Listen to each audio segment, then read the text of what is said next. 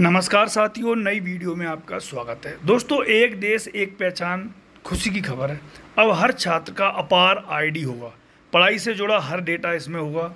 देश का हर छात्र, पालक, शिक्षक ज़रूर देखें। आइए देखते हैं गो एक देश, एक पहचान, आधार की तरह स्टूडेंट की पहचान तय होगी अब हर स्टूडेंट का अपार आईडी, पढ़ाई से जुड़ा हर डेटा इसमें होगा।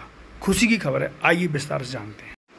Automated permanent academy account registry यानी कि अपार आईडी देश भर के स्टूडेंट की अब यही यूनिक पहचान होगी। यह आधार की तरह 12 डिजिट का यूनिक नंबर होगा। यह आईडी किसी भी छात्र छात्रा को बाल वाटिका स्कूल या कॉलेज में दाखिला लेते ही मिलेगा। इसमें school college university transfer certificate सत्यापन, skill training, internship, scholarship, award, course, credit, transfer व अन्य कोई उपलब्धि जैसी सारी जानकारी डिजिटल रूप में समाहित रहेंगी। देश में करीब 30 करोड़ स्टूडेंट हैं। इनमें से चार दशमलव एक करोड़ उच्च शिक्षा और चार करोड़ स्किलिंग कोर्स से जुड़े हैं।